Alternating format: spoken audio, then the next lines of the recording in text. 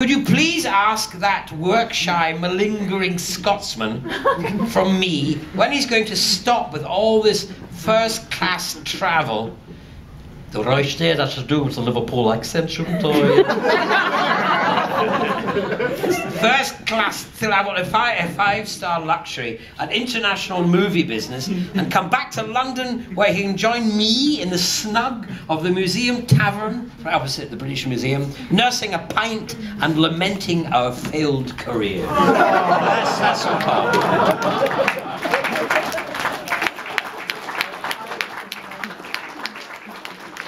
Well, I, I, mean, if I could fail the way Paul McGann's failed, I'd be a very happy man. That's my message to him.